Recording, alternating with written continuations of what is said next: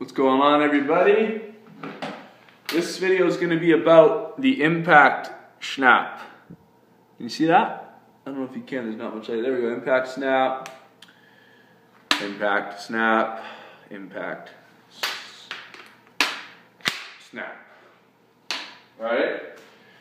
So I ordered this because I know um, some people that chronically flip that I sometimes I can't give them, I can't, I haven't started giving them golf lessons yet, and this is where I want them to start. So I, the, I actually bought this for one of my students, and um, I'm going to use it and make videos with it until I see him, because uh, there's a, if he just got this, you know, it's like, how, how do I, how do I use this thing? Like, there's a ball and there's a snappy thing, and what do I do? So uh, I'm going to give a quick little demo of why I got it, and um, how to use it. Uh, I'm going to be using it a little bit because I want to I want to make sure um, uh, you know my release is up to par uh, or up to birdie. And um, yeah, here we go. So what you do actually when I first got it, I had to look at one of Kelvin's training videos, Kelvin Miyahira's training videos, because I because I put it in my hand like this, and I thought, okay, when I'm coming through impact, I want to I want this to be here. I, I remember this ball had to be touching one part of your forearm. So yeah, that's kind of what I did is I put it here because I thought, you know, if you hit it back here, going through, that's a flip, right? You know, um, you know, it's not bowing. This one, this one starts to bow. Uh, you know, you're flipping. You're going into internal rotation with here, external here. So that's bad. So that's one way. I don't know. I'm gonna ask Kelvin, but I think that's a good way you can use it as well. Is just to feel, is just to feel this pressing against your left forearm because then you get a little flat left wrist.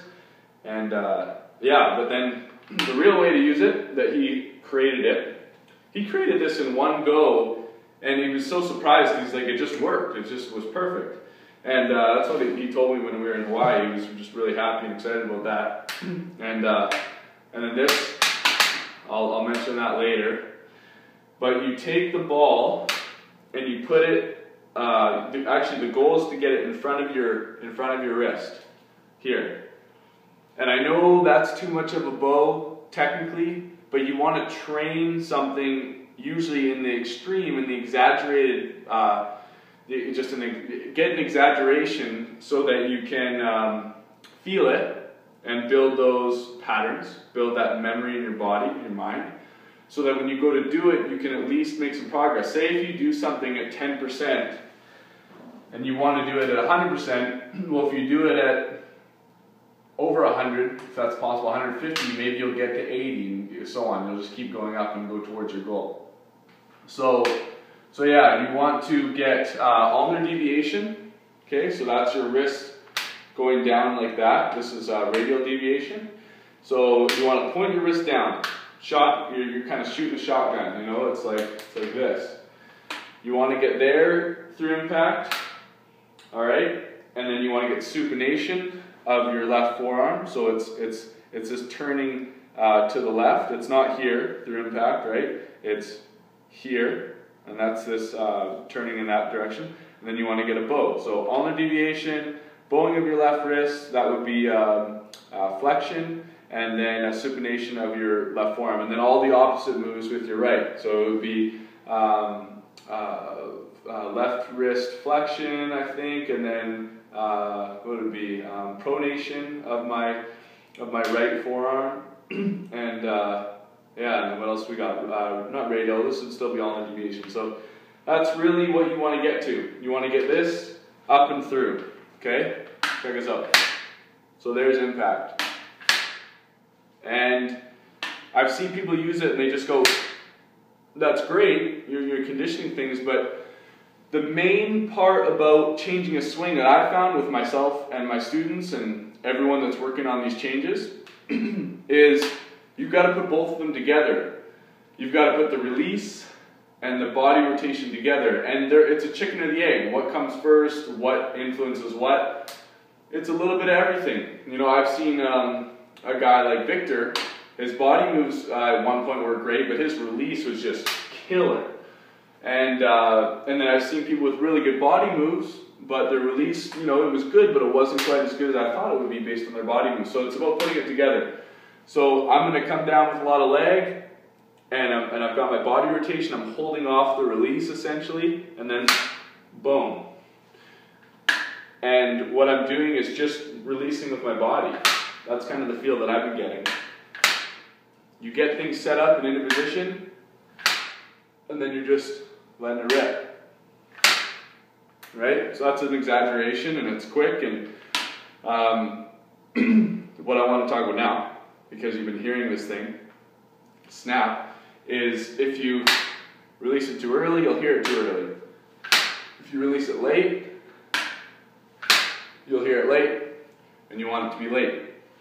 A drive hold release is, is squaring the club face and holding it through. Drive hold. You're driving a square, square face through, you know, with a lower rate of uh, closure and a lower rate of flip. So those are the benefits of the impact snap.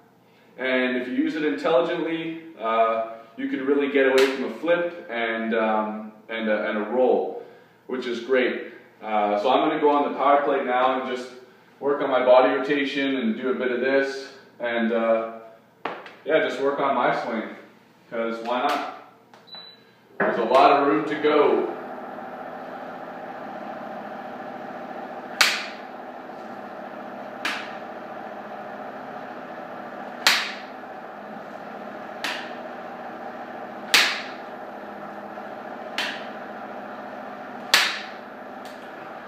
And that's pretty much it.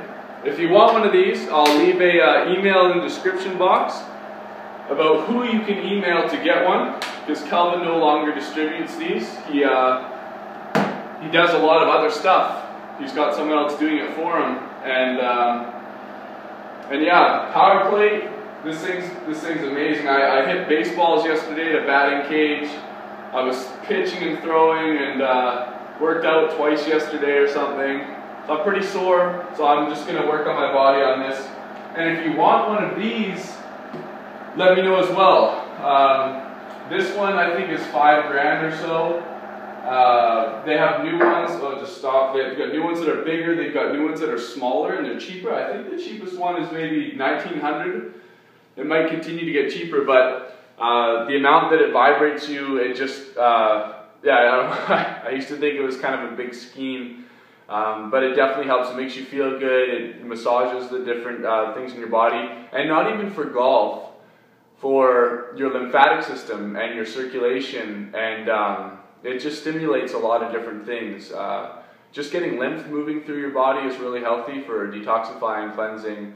Um, you know, people who have uh, their legs get big or, or stuff gets big, because lymph's not moving. And Lymph is the highway of, of I think, excreting uh, toxins and getting things moving. So moving, you know, moving will do it. Uh, this just does it a little faster and then, um, yeah, helps you uh, build and break down fascia, I'd say a little faster than if you were to just do it another way. And then it's a massage.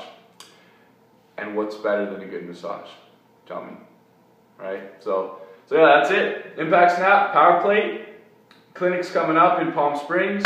Lessons on the West Coast uh, LA, uh, Palm Springs, some different areas. So hit me up if you have any questions and um, if you want an impact snap or a power plate. Aloha. Peace out.